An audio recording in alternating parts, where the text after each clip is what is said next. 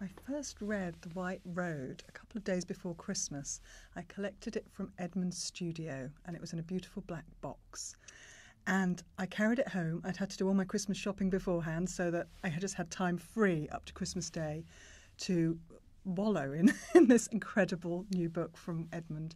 Um, it, it was a nervous moment, I won't deny it, because it was it was a moment that you know I'd been one of the first people to read The Hare with Amber Eyes, and hundreds of thousands of people have read that book since and loved it as much as I did, and I really really wanted to love this new book, and I did from the first sentence and from the second, and it continued. And what was so wonderful, and what I'm sure others are going to enjoy, is you're back with Edmund um, on a journey and he's taking a journey to the heart of porcelain.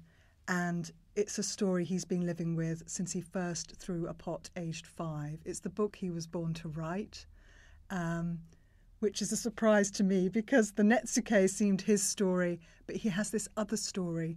The White Road is the story of porcelain over the last thousand years, from China, where it was invented, and where we see Edmund standing on a mountainside holding a lump of clay um, to Europe, where this obsession for white gold raged through Versailles and Dresden and um, into England um, and Wedgwood. And it's full of stories you wouldn't expect to encounter. How porcelain was sort of the bedrock of the rise and fall of nations at times, how it broke people's hearts, how it breaks men's bodies. I mean, it's a, it's a the, the clay is warm, but the dust it creates in the firing is sometimes fatal. And so it's extraordinary kind of clash of elements that you just maybe not expecting when you first think of the word porcelain. And when I was thinking of porcelain at first, you sort of think of something very fragile, beautiful, on a shelf. You don't pick it up unless it's a very special occasion.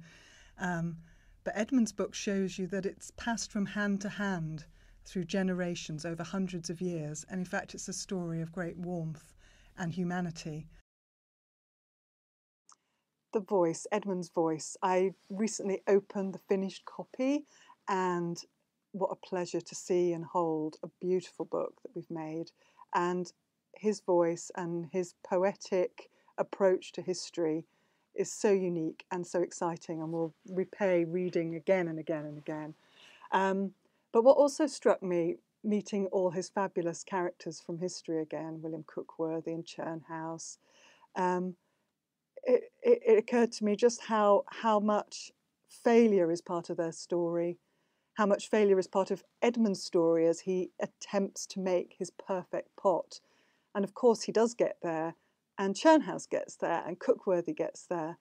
And Edmund's book in fact, is an incredible, paradoxically, success in, in showing how creative people embrace and live with failure every day of their lives.